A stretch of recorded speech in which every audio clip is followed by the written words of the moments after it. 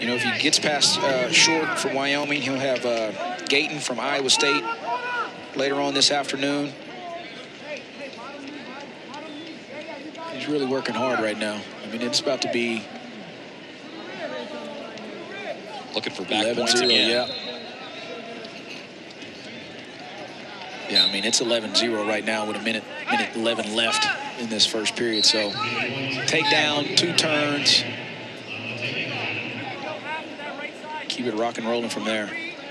Top right corner on mat two. Colton Hawks, the four seed out of Mizzou, and Adam Cherne from North Dakota State. About 90 seconds into that one. And on mat four, the number six seed, Sam Wolf from Air Force and Jacob Armstrong from Utah Valley in that bottom right corner.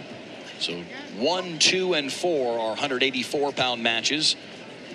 Five NCAA pre-allocations for 184 this year for the Big 12. There it is again. Look at that. Right to that cradle. Man, that's uh, that's good top wrestling right there. Gavin Sachs cruising here yes. in this first period, and there is four more points on the uh, near fall and a 15 nothing tech fall for Gavin Sachs. One takedown, everything else was a turn. All in the first period. That's what I was talking about earlier, how fast these matches can go, right? Yeah. If you got somebody that knows what they're really doing on top, get a chance to put those points on the board. And every time he got swipes, they were all four.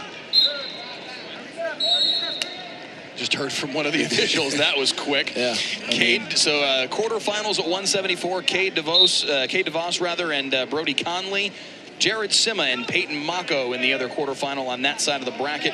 Braden Thompson and Tate Picklo in a little bedlam action. Yep. And then Gavin Sachs and MJ Gaitan out of Iowa State in the other quarterfinal. Now fully on to 184. 184 and a little bit of mixture of 197 right here as well on uh, on mat three with uh, the man Tanner Sloan from South Dakota State University. Record is 18 and one. He's the number one seed in this bracket and is just uh, he was the runner-up last year at 197 pounds going into his last Big 12 tournament and is just a solid, solid dude, man. He will grind a match out. He's tough on top. Talking to his coaches, he's got a one of those super, super good grips. Really strong kid. Solid basic fundamentals, too. Sloan and Rocky Elam, a similar story to Keegan O'Toole and David Carr. Mm. Elam got Sloan in the Big 12 championship in the finals, but then Sloan got revenge on Elam in the national semifinals. Yep.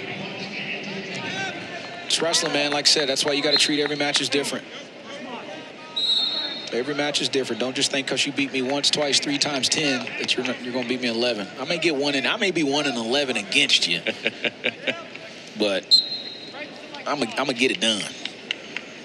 Tanner Sloan, the runner-up at the Big 12s, the runner-up and at the NCAA tournament.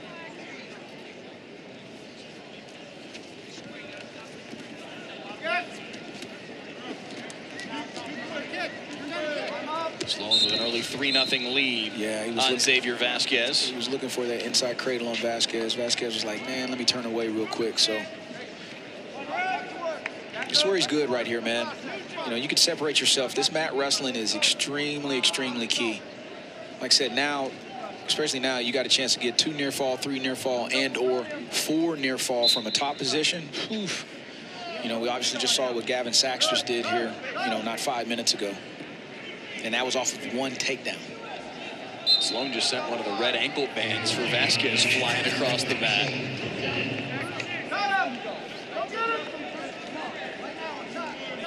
4-1 the advantage late second period for Ethan Duca on Branson Britton. Duca, the eight seed, trying to set up a matchup with Parker Keckeisen. What do you think the mentality is for one of these guys when they see the bracket pop up and, oh, hey, if I win my first round match, I get Parker in the second round? Go wrestle, right? I mean, that's the way you got to look at it. You don't want to you don't want to look at it any other way. You still got to go compete and go wrestle. And trust me, that's what these coaches are telling them right? Yeah, you know, you know Keckeisen's resume, you know who he is, so on and so forth. Like I always try to tell my, don't wrestle the name, yeah. right? Don't wrestle the name. You go out there and wrestle, worry about your performance, see what happens. And if he does beat you, he beats you, right? But, you know, I got you at this university not to back down from anybody, wherever it's at. Amen. Amen, right? Top right corner of your screen, mat 2. Colton Hawks with a 6-2 advantage on Adam Cherne out of North Dakota State. There's Sloan's position right there. Sloan looking for a couple swipes and four more for the number one seed and a 7 nothing advantage. He's always attacking wrist, right? He's got his pressure forward, got his opponent flat on his belly. He's raking the head. Now he's working for a cradle. Short time here in this first period.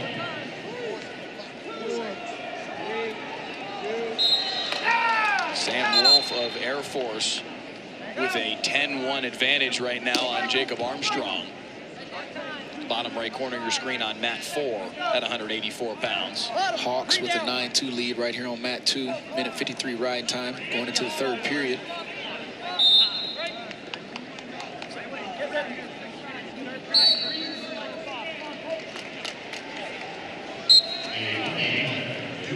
Tanner Sloan's only loss this year came against Jackson Smith of Maryland.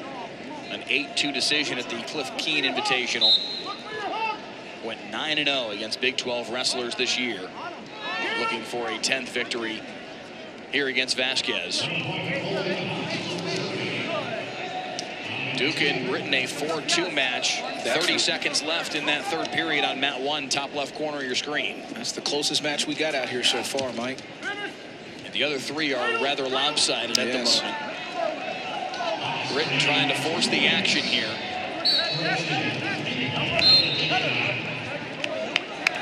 Points for Colton Hawks, top right corner of your screen. A 13-2 advantage late third. Hawks has got that takedown. Got him turked in there. Now he's going to try to push that elbow in.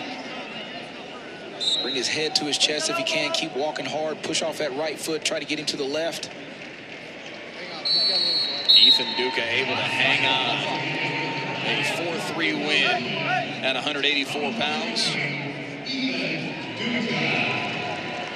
He will move on to face Parker Keckeisen in the quarterfinals at 184. Cherne with an escape 13-3. Under a minute in the third period. Riding time is locked for Hawks. He's about to cruise his way into the quarterfinal and set up a intriguing matchup with Feldkamp of Iowa State. Yep, that'll be a good one, too. Feldkamp coming from Clarion University was an All-American there. Now wrestling for the Cyclones at 184 pounds. Those two met back on February the 25th, Feldkamp and Hawks. A 12-8 win for Colton Hawks. And that was one of the things, you know, talking to Coach Smith about obviously making that decision at 184. Whiting was there, was nationally ranked for some time. You know, Hawks was in the lineup last year, had a good Big 12 here last year at, at 184 pounds. And uh, Coach Smith had to, make a, had to make a, uh, big boy decision between those two great athletes. Sloan with the tech fall. And he will move on at 197 pounds, the number one seed. His 10th win in 10 tries against a Big 12 opponent. The number one seed advancing to the quarterfinals. Sloan is a machine, man. Kid wrestles super hard. Hawks, Hawks finishing up. So it's Hawks and Feldkamp, Keckeisen and Duca, the two quarterfinals in the top half of the bracket at 184.